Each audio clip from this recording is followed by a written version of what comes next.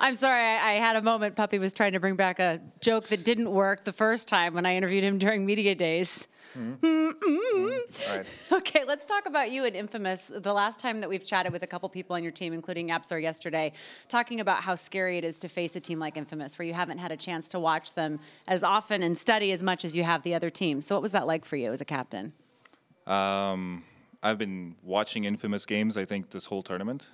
And uh, therefore, I admire the way they play and their play style and their ideas. You know, Ricky Humid, you know, with Magnus and stuff. I've kind of saw it. I played with uh, Chris Luck, uh, a pub game, actually, just when he did that.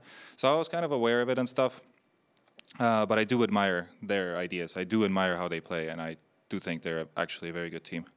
And you're known for being an expert drafter. So, I want to get your insight, if you don't mind, on the ban of Wraith King. Was that a respect ban based off of a little bit of fear, only respect, or were you just trying to play it safe?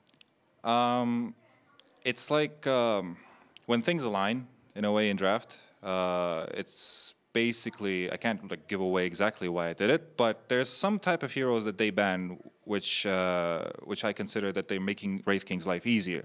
And since they're doing that, I don't think I need to set myself into their trap. I'm like, okay, fine. If you want to remove so many heroes or whatever, do do exactly the way playstyle you want to make Wraith King work. I'll just remove it, and it's like a boost because they've kind of won every game with Wraith King. Uh, last question. I'd love to get your thoughts on just an outsider's perspective for a moment on Dota. We talked a little bit about the respect that you have from Infamous. Is it a respect in general for watching teams? Like you've played this game for a really long time. You remember what it was like to get started, and now it's kind of cool that you can take a step back and see how other teams and other players are trying to follow along in your footsteps and those of the other veterans.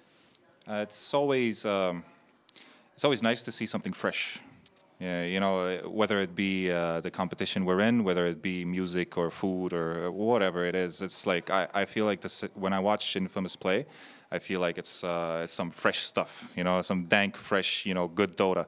Therefore, uh, it's really yeah, it's pleasuring to actually watch. Yeah, it's, it really feels good to like see some things like that happen. Well, congratulations and best of luck tomorrow with Vici. Thank you. All right, back to you guys.